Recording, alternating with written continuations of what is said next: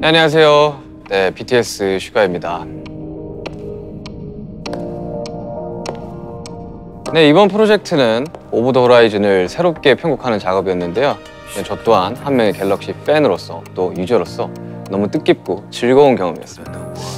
어, 어렸을 때 연주곡을 듣는 걸 굉장히 좋아했다 보니까 저도 꼭 한번 이런 연주곡 작업을 한번 해보고 싶었었는데 어, 이렇게 특히나 Over the Horizon을 편곡해 볼 수 있게 되어가지고 어, 너무나도 즐거웠고 행복한 시간이었습니다.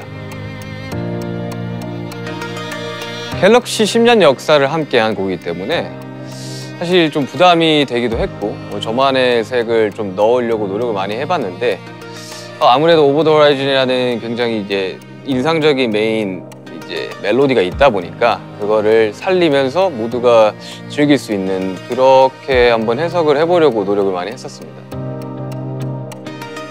뭐 영감의 소스라고 하면 너무 거창하긴 한데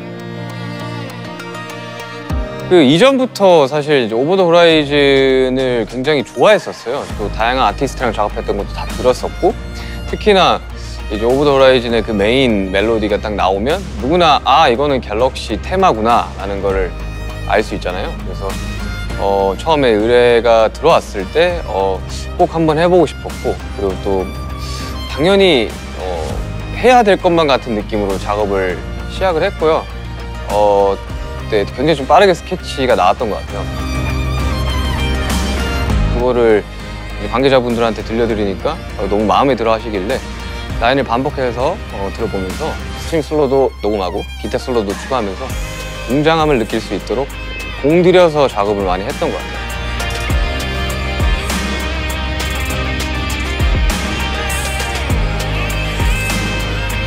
네, 이 노래 제목이 오버 더 호라이즌이잖아요.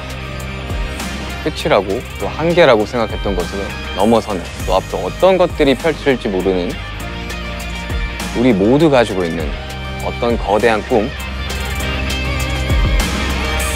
이상, 나아갈 수 있다는 믿음.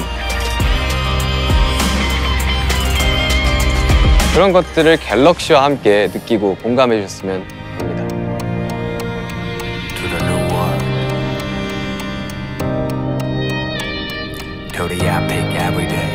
감사합니다.